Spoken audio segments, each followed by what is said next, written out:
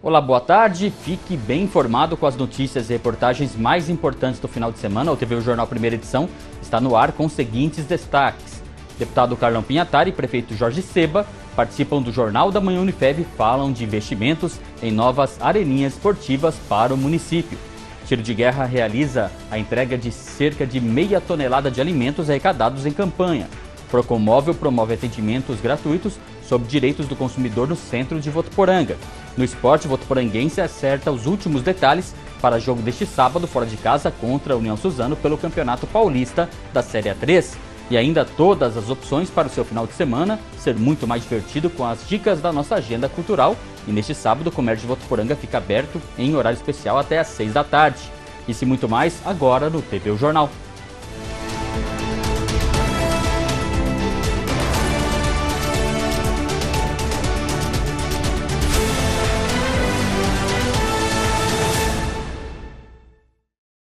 Acompanhado pelo prefeito Jorge Seba e pelo vice-prefeito Cabo Walter, o deputado estadual e presidente da Lesp, Carlão Pinhatari, participou do Jornal da Manhã Unifev desta sexta-feira e falou sobre investimentos do governo paulista na nossa região, em especial as areninhas esportivas que serão instaladas em Votuporanga. Acompanhe. Por volta das 8 horas da manhã, o deputado estadual e presidente da Lesp, Assembleia Legislativa de São Paulo, Carlão Pignatari, chegou aos estúdios da Rádio TV Unifev. Ele foi recepcionado pelo reitor da Unifev, professor doutor Oswaldo Gastaldon, e pela gestora da FREV, Fabiola Fiorentino, e estava acompanhado pelo prefeito Jorge Seba e pelo vice Cabo Walter. Por cerca de 20 minutos, Carlão falou sobre vários assuntos e destacou o investimento nas novas areninhas esportivas que serão instaladas no município. Tudo que você faz na área de esportes e lazer é, ajuda a melhorar a vida das pessoas. E a Areninha é um projeto de bairro. É, o Jorge precisa depois chamar as associações de moradores dessas cinco locais onde vão ser instalados e fazer uma parceria para que eles possam nos ajudar a trazer os nossos meninos e meninas para brincar, ou jogar basquete, ou jogar futebol, ou enfim, fazer uma atividade física ali que é de extrema importância. E vamos colocar uma no distrito de Sinos e, e os outras quatro aqui nos bairros da nossa cidade. Eu sei, por exemplo, que já está fazendo a base do Matarazzo, lá no Pacaembu. Então isso é importante. É importante para a gente melhorar a vida das pessoas que ficam aqui e poder cada vez mais é, educar melhor as nossas crianças. O prefeito Jorge Seba também falou sobre mais essa conquista para Votuporanga através do deputado Carlão Pignatari.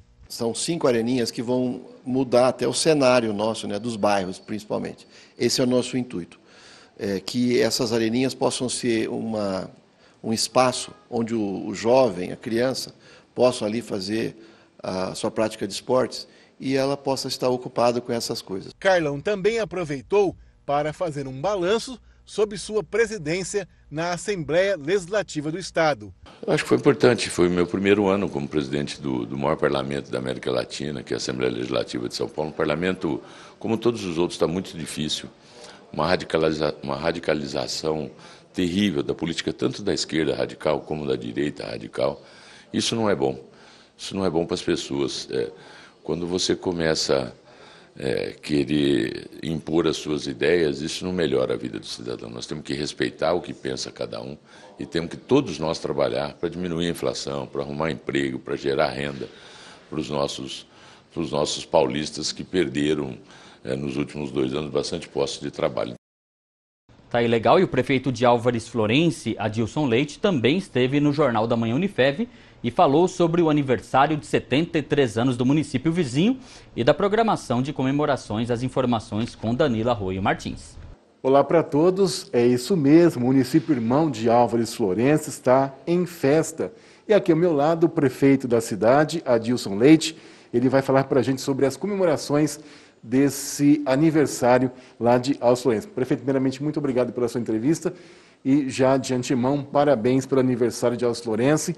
E gostaria de saber do senhor quais foram as principais conquistas da, da gestão pública nesses últimos anos, durante esse seu mandato atual. Olha, nós agradecemos e nós comemoramos agora os 73 anos de administração política administrativa E nesses 15 meses de gestão que estamos à frente do município, o município teve um avanço grande, graças a Deus. Tivemos várias conquistas, melhoria na educação, melhoria na saúde, melhoria na infraestrutura, na, na malha rural, que isso favorece a economia, porque nós temos um escoamento de... O nosso município é praticamente um município agrícola, e várias conquistas que o município tem, né, como todas as infras, infraestrutura de, de, ligação de bairros, com asfalto que já já está sendo licitado para que saia. E nós estamos muito contentes, muito felizes, né, comemorando esse aniversário que é muito importante para as Florença. Tá certo. Então vamos deixar aí um recado, né, para os moradores é, de Álvares, né, para a nossa região, também fazendo um convite para que participem das comemorações. Deixa aqui o convite a todos, a nossa região, a Álvares, ao, ao distrito de Boa Vista dos Andradas, para que a partir de hoje, hoje às, às 20 horas, nós já estamos a, a, a inauguração do nosso, a reestruturação do nosso polo esportivo, e onde já, já há um show, né?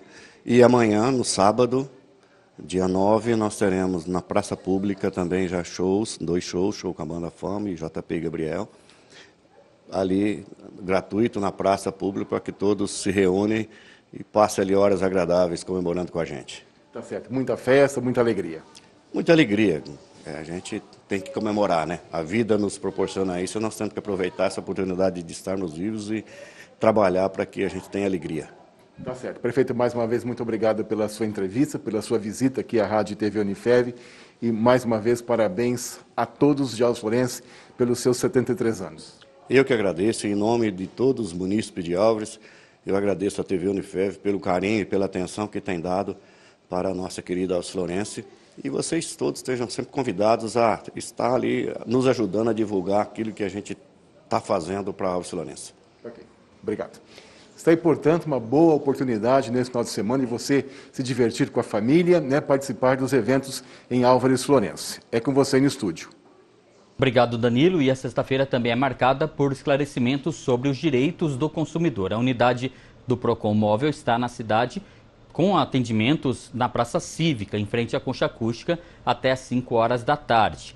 A iniciativa pretende facilitar o acesso à defesa dos direitos do consumidor a todos os moradores, promovendo a acessibilidade. O programa Procon Móvel é oferecido por meio de um micro-ônibus adaptado com toda a estrutura para o atendimento.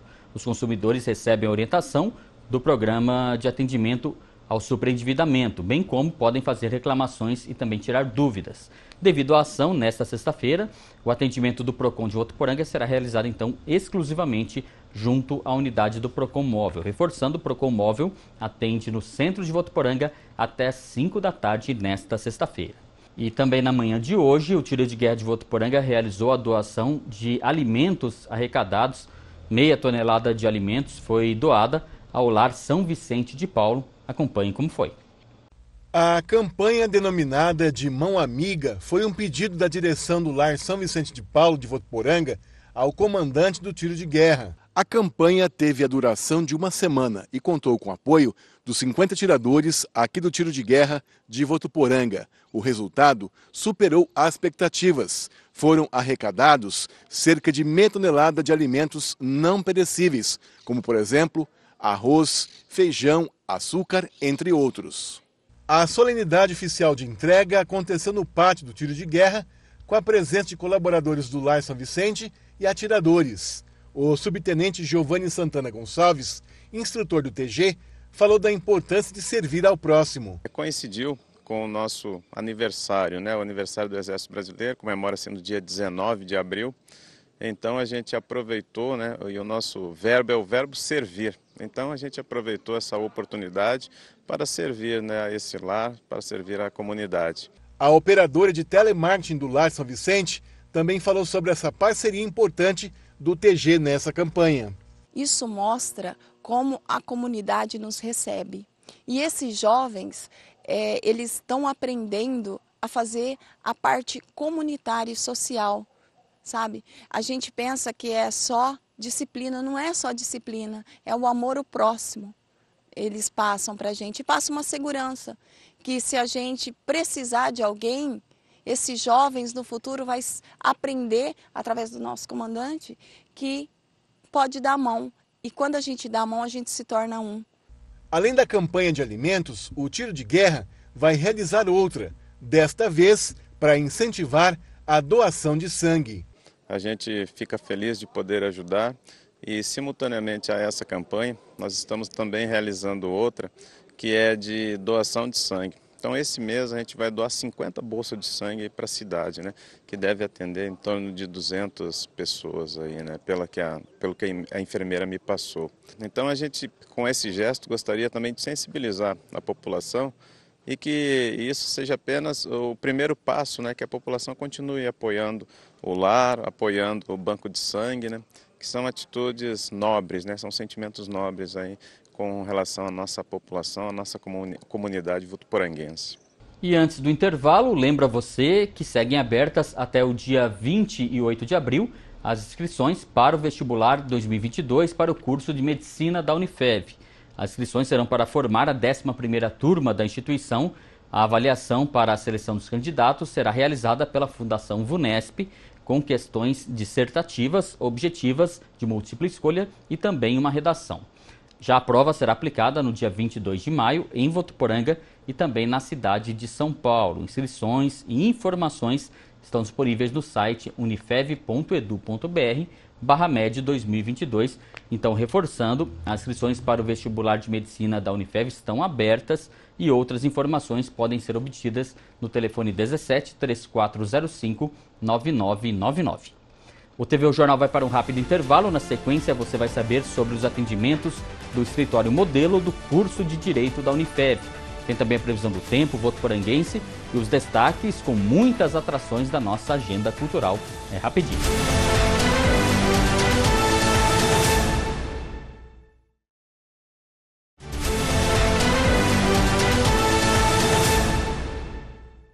TV o Jornal está de volta e a Unifev, por meio do curso de Direito, realiza atendimento à população, atendimento de graça com orientação jurídica para toda a população por meio do escritório modelo.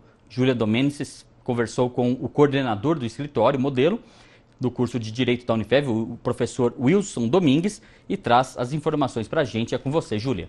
E nós recebemos agora o responsável pelo escritório modelo do curso de Direito, ele que também é professor do curso, Wilson Domingues, para falar sobre o atendimento gratuito de orientação jurídica para toda a população. Explica para a gente como que funciona esse espaço do escritório modelo como laboratório para os alunos. Na verdade, o escritório modelo ele funciona como um laboratório para os nossos alunos né, da Faculdade de Direito, trazendo para eles uma vivência prática da atividade da advocacia.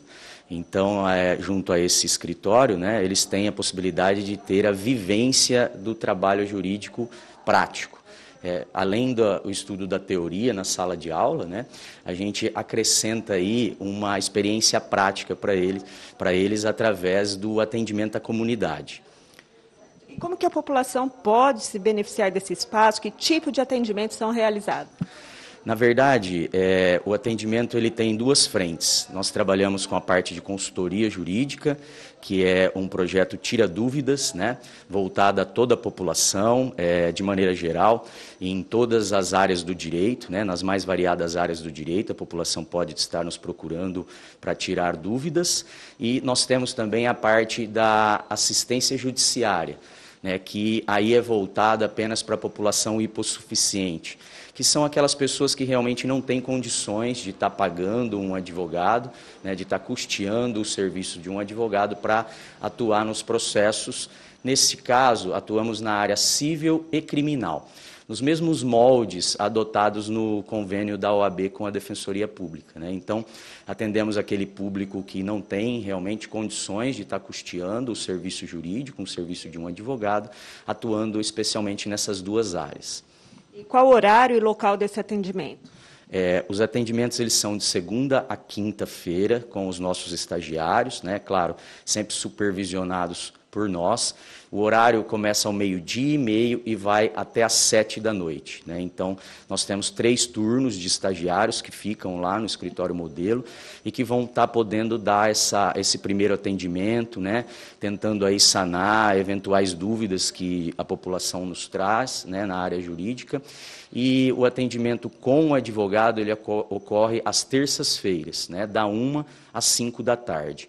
Então, nós fazemos os agendamentos, as pessoas que de toda a comunidade local, na verdade, de toda a comarca, né, não só o município de Votuporanga, os demais municípios que integram a nossa comarca, é, eles nos procuram lá no escritório modelo, que funciona lá no, no campus da cidade universitária. Né, temos um espaço lá próprio para atendê-los e aí poder oferecer esse tipo de serviço gratuito à população. Tá certo, obrigado, Júlia, e também o professor pela participação. E vamos à previsão do tempo. Segundo o portal Clima Tempo, a sexta-feira ainda será marcada por sol e bastante calor em todo o estado de São Paulo. No interior, as máximas ficam entre 30 e 35 graus em alguns locais. Há possibilidade de chuva que se concentra entre o fim da tarde e o começo da noite, com moderada a forte intensidade. Em Meridiano, temos a máxima de 33 graus e a mínima de 21, com umidade do ar em 80%. Já em Cosmorama, hoje a máxima de 32 e a mínima de 21 graus, com umidade do ar em 78%.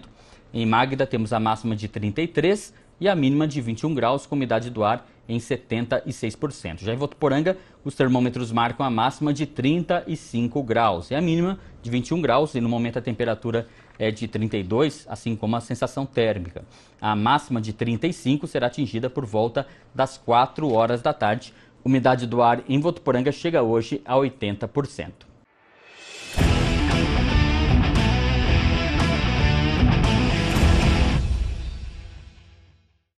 Hora do esporte no TV o Jornal, após a derrota na quarta-feira com polêmicas da arbitragem no jogo contra o comercial, o CAV virou a chavinha e está 100% focado no próximo compromisso, União Suzano, né? Neste sábado, o jogo será às três da tarde, fora de casa, partida que terá a transmissão ao vivo pela TV Unifev por meio da parceria com a TV Federação Paulista. Vale lembrar que nos jogos fora de casa, a qualidade da transmissão, imagens, narração, comentários são de responsabilidade das equipes de fora. E sobre o jogo, o técnico Rodrigo Cabral afirmou que a equipe está totalmente preparada para esse próximo confronto. Após o jogo contra o Comercial, em Ribeirão Preto, a equipe ficou concentrada em Santana do Parnaíba e parte nesse sábado para Suzano, onde joga às três da tarde. Então, reforçando, Cave e União Suzano jogam amanhã, sábado, três horas da tarde, ao vivo, com transmissão da TV Unifev. Boa sorte para Voto Poranguense. E toda sexta-feira o TV Jornal te apresenta as melhores opções para diversão e entretenimento no final de semana. É hora da nossa agenda cultural com Bárbara Pádua. Oi, oi, gente! Finalmente chegou o final de semana, momento para descansar ou curtir com a família e amigos, né? Então eu te conto o que vai rolar de bom em Votu para você ficar por dentro. Começo agenda te contando o que tem de bom no novo Cine Votuporanga. O filme Morbius será exibido hoje, amanhã e no domingo, nas sessões das 7h30 da noite e das 9h30 da noite também. Também nas telonas, o filme Sonic 2 será exibido às 5h15 da tarde, de hoje a domingo. E no sábado e no domingo haverá matinê de Sonic, às 3 horas da tarde.